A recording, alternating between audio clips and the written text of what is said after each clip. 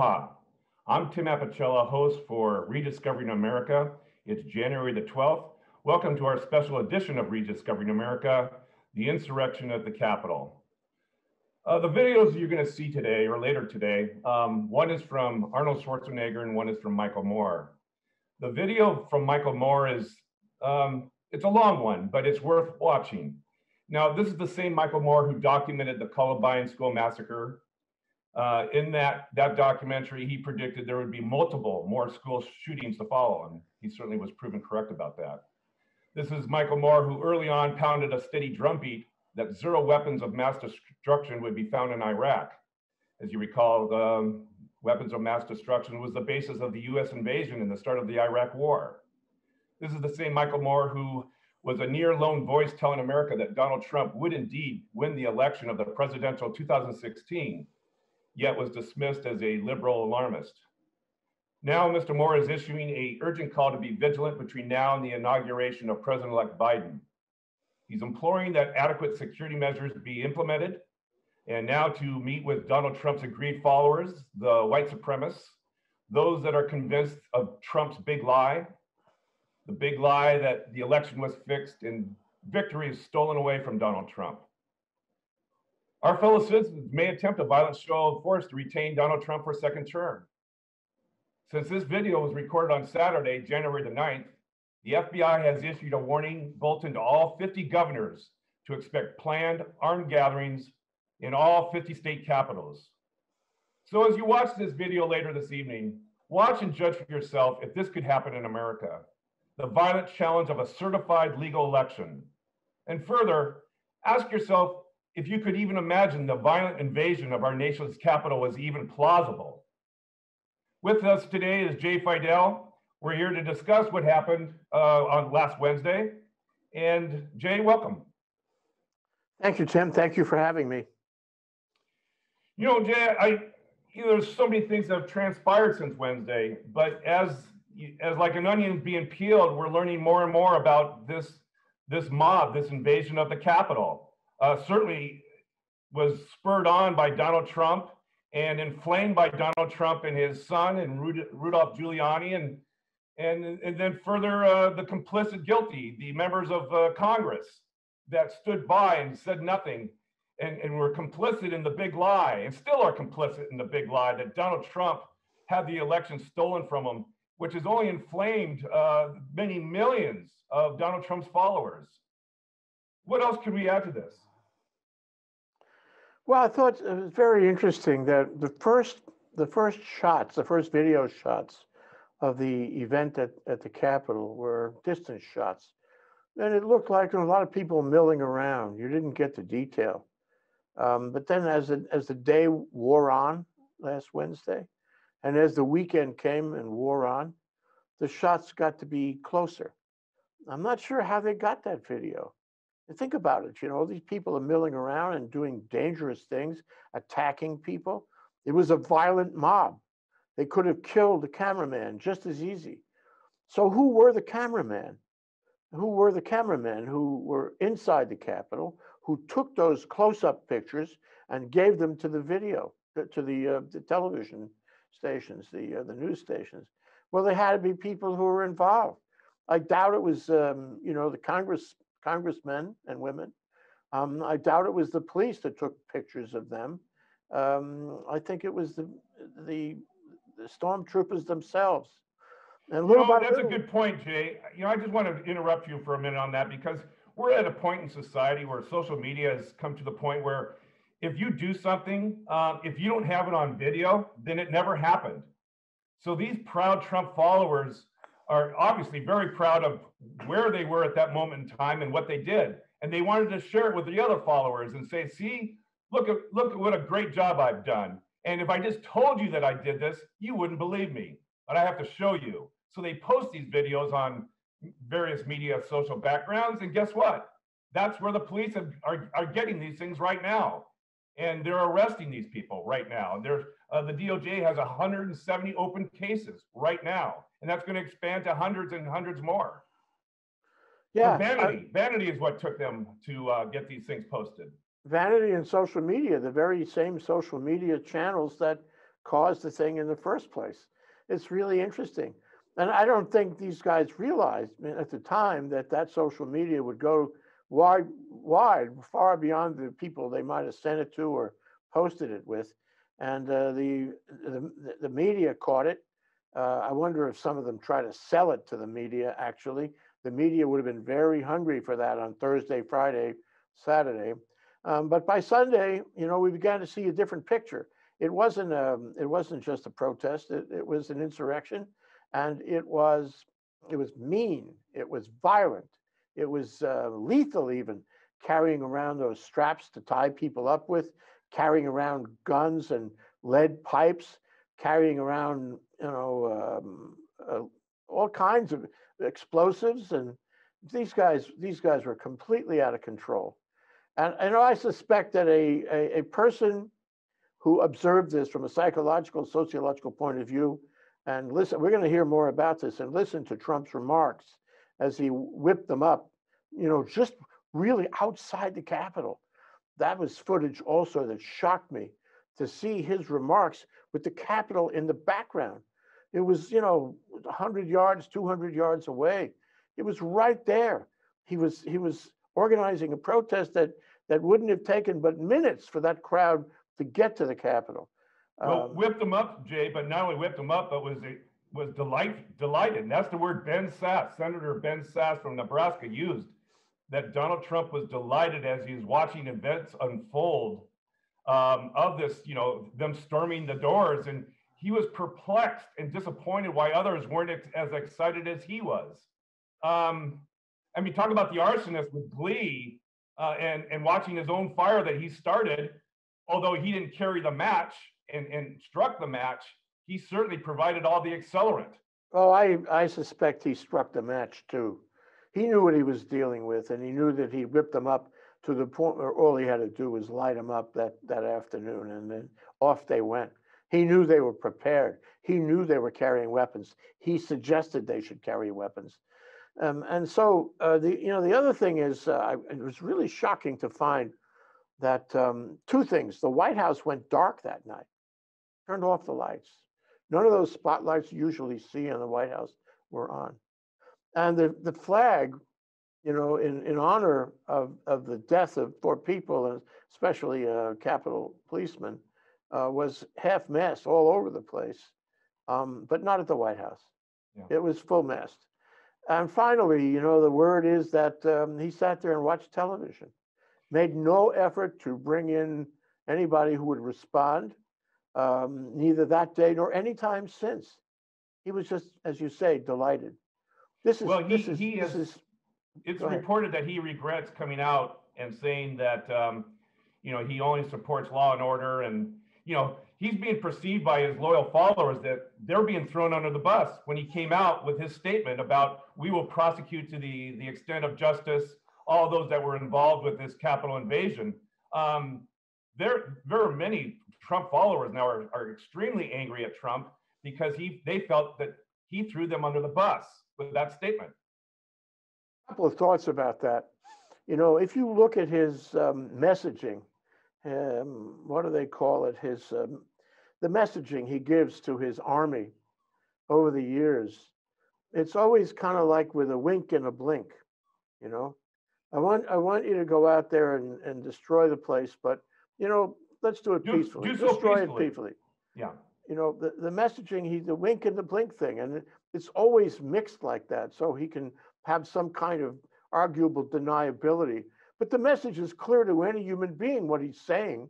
You know, it's always clear what he's saying. Stand by and stand up. Remember that?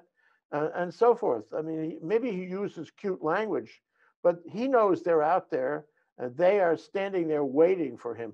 So while some some of the insurrectionists uh, might feel that he he let them down, he certainly let them down when he said he was going to walk with them. Didn't walk with them. Went back to watch them. That's really cute.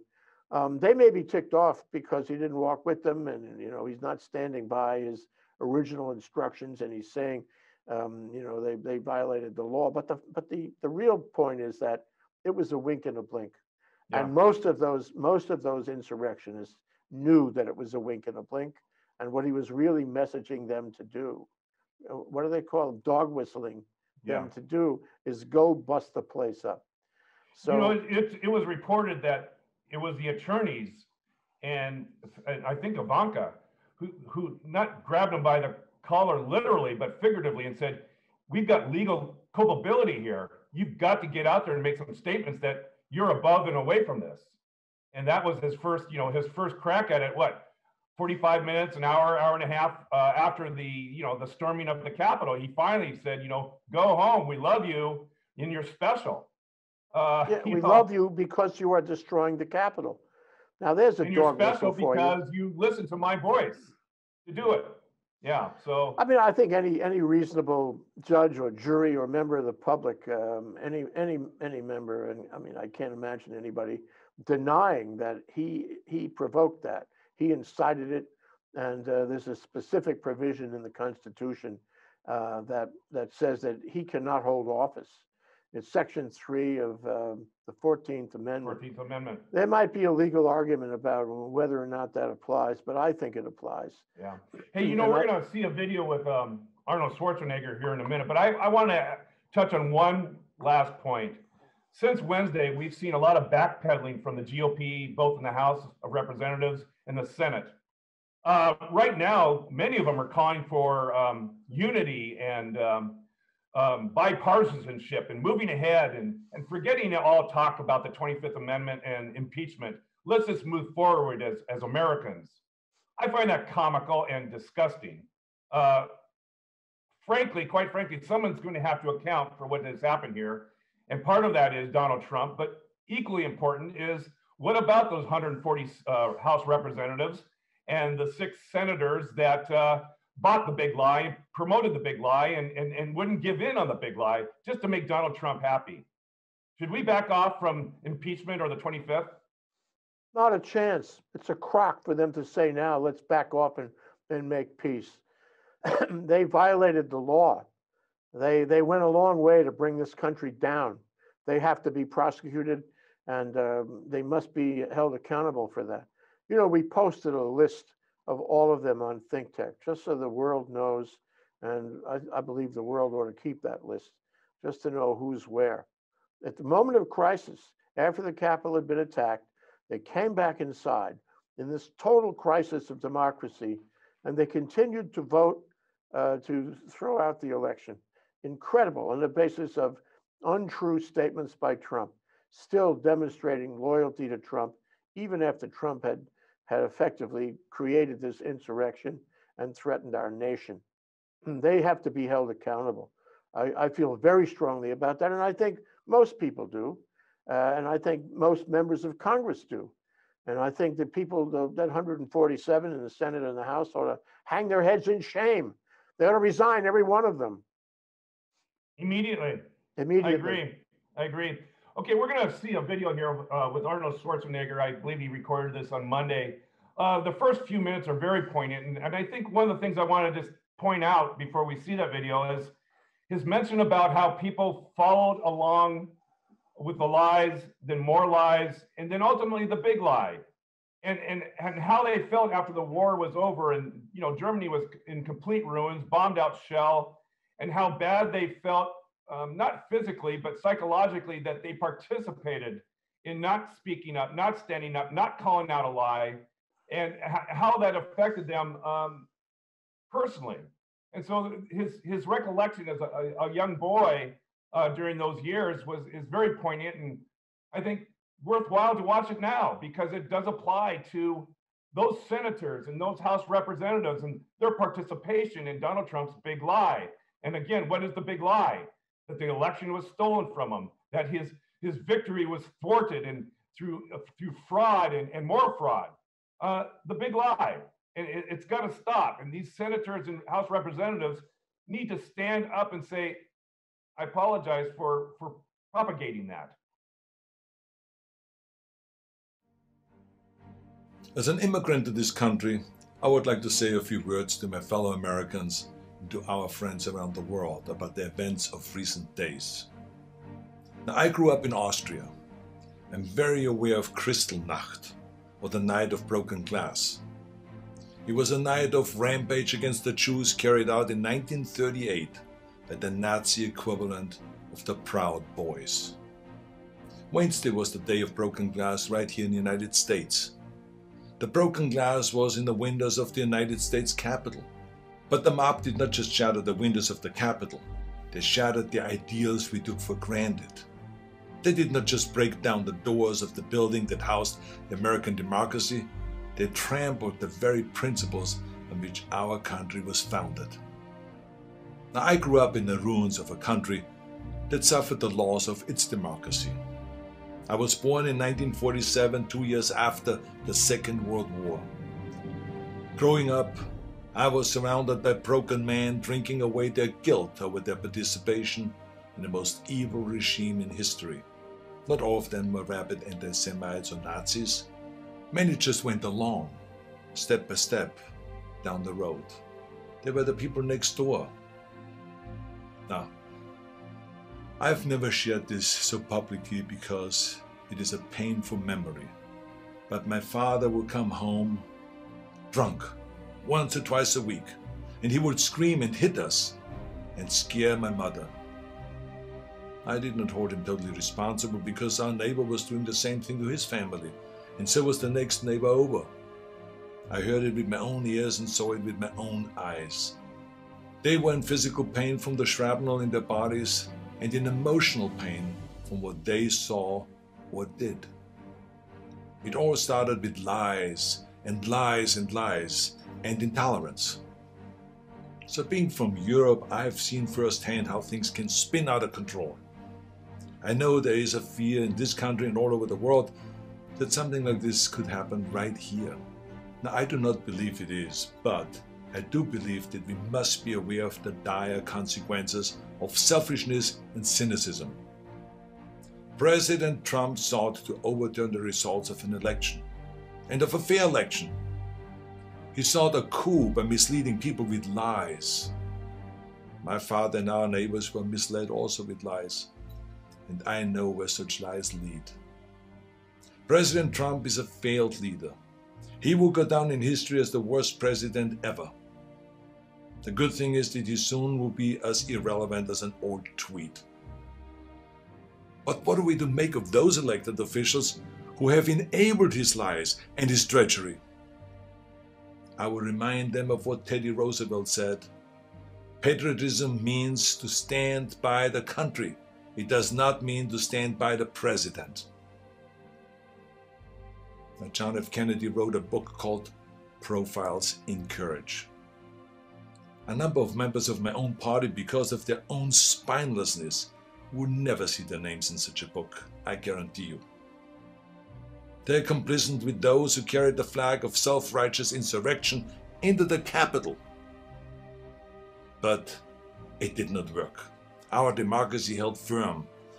Within hours, the Senate and the House of Representatives were doing the people's business and certifying the election of President elect Biden.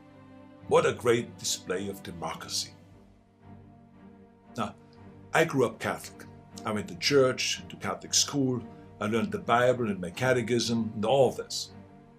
And from those days, I remember a phrase that is relevant today a servant's heart. It means serving something larger than yourself, See, what we need right now from our elected representatives is a public servant's heart. We need public servants that serve something larger than their own power or their own party. We need public servants who will serve higher ideals, the ideals in which this country was founded, the ideals that other countries look up to. Now, over the past few days, friends from all over the world have been calling and calling and calling me, calling me in distraught and worried about us as a nation. One woman was in tears about America, wonderful tears of idealism about what America should be. Those tears should remind us of what America means to the world.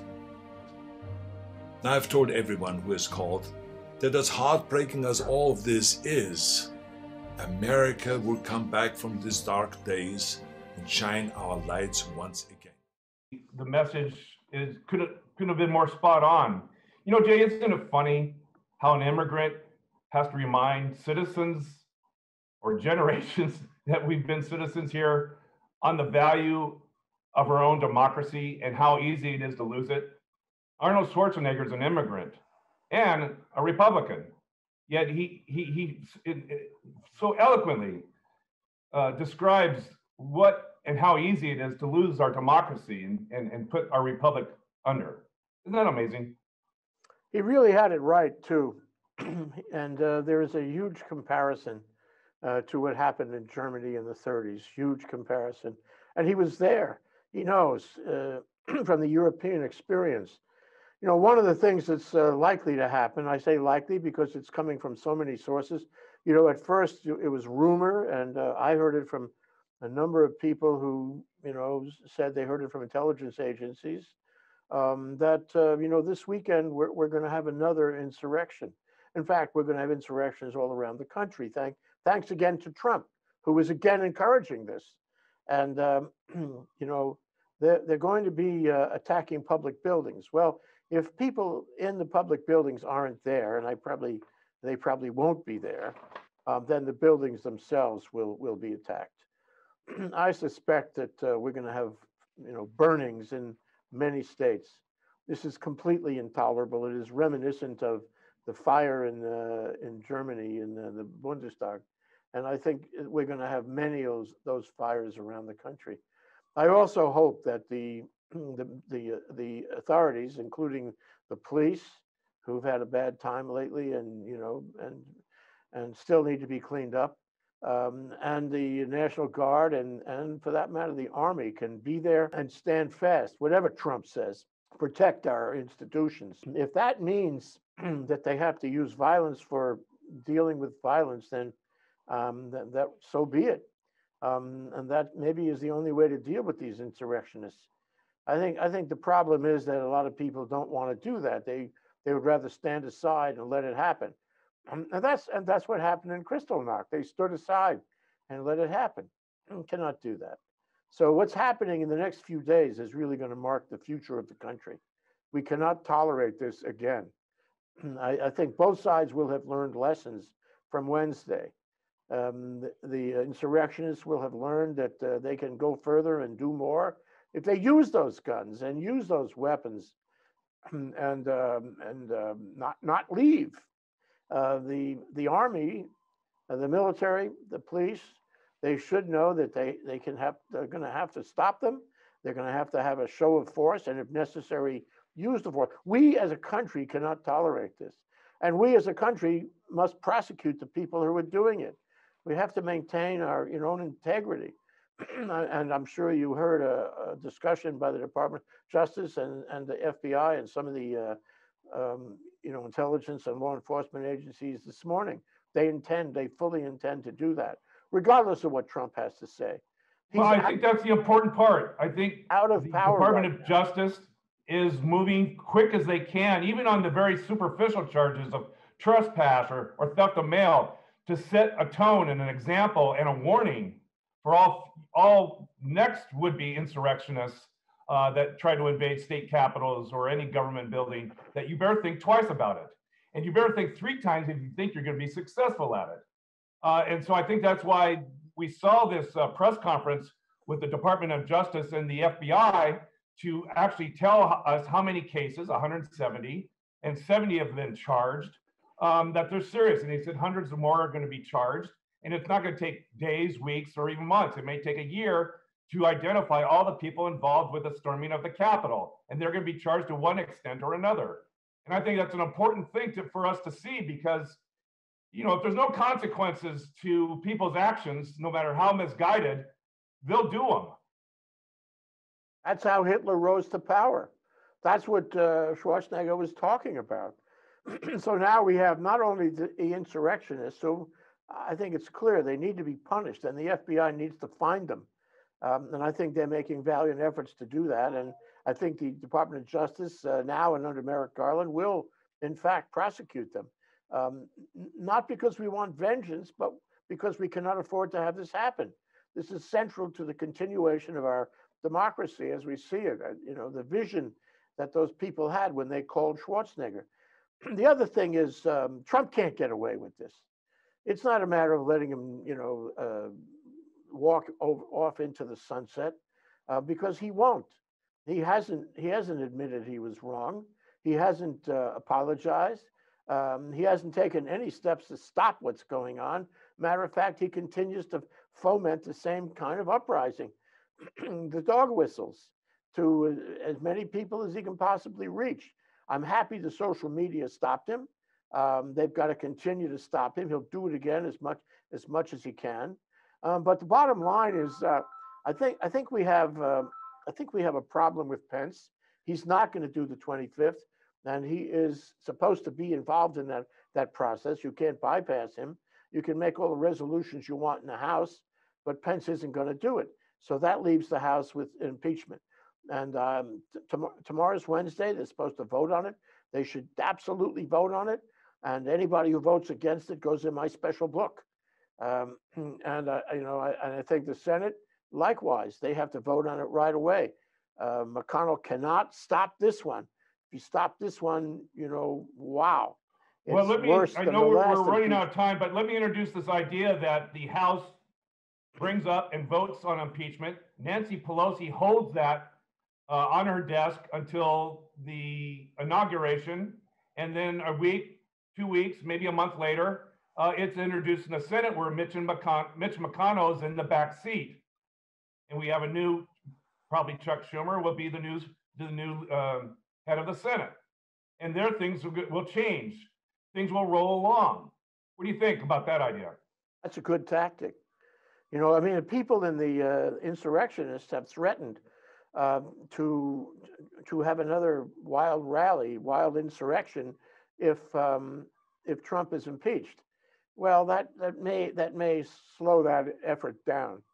I think it's a whole combination of things. It's having military force there. Uh, it's using that strategy you just described.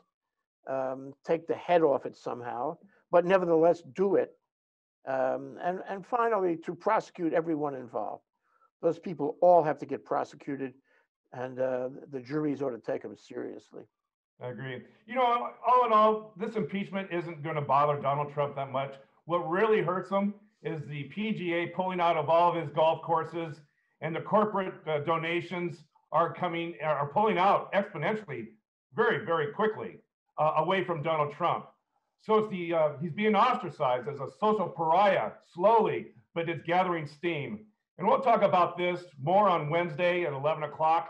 But Jay, I want to thank you for uh, your participation in this special edition of Rediscovering America because our democracy is in jeopardy. We are at threat, and I'm glad we're taking the time to at least address it as best we can. And hopefully, more people will take and pay attention to this and actually start speaking up, be it on social media or with their congressmen or with their neighbors and family, and not go along as Arnold Schwarzenegger described it in Germany, just go along with it. It's time to speak up, and I think that's happening. So I want to thank you, Jay. And um, Thank you, Tim, and we will we will post the Michael Moore video so people can see what he said.